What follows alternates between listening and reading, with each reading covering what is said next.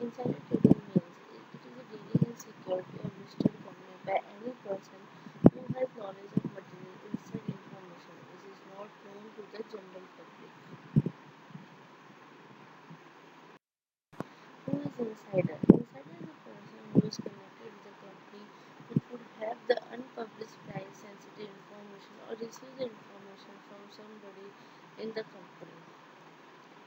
So basically insider is that person who has all the secret information about the internal affairs of the company and he is not allowed to disclose any information without the permission to the outsider of the company. Connected person. Basically these are the following persons who are connected with the insider trading. First, any person who is or has been associated with the company in any manner during the six months prior to the consent act an immediate related to the connected person, a banker of the company, a holding associate subsidiary company, an official of stock exchange or of clearing corporation. Who insider?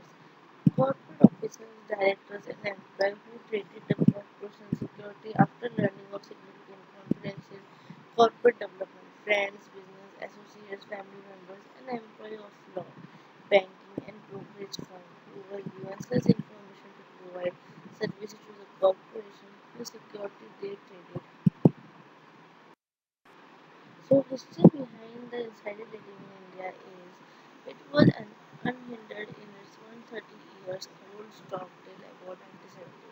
In 1790, the Sachar Committee recommended amendments to the Companies Act 1956 to restrict the prohibit the dealing of the employees. Penalties were also suggested to prevent the insider trading. In 1989, the Abid Hussain Committee recommended that the insider trading activity may be penalized by civil and criminal proceedings and also suggested the SEBI formulate the regulation and governing code to prevent unfair dealings.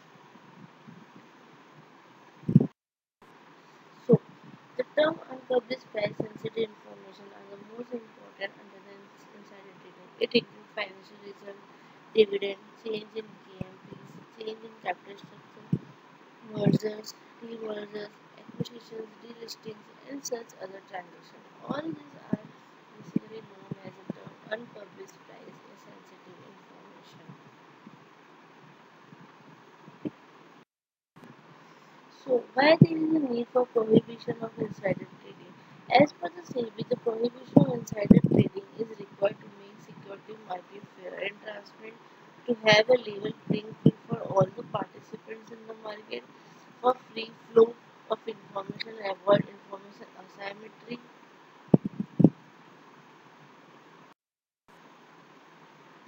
Thank you class. I hope you all understand the basic meaning of insider trading.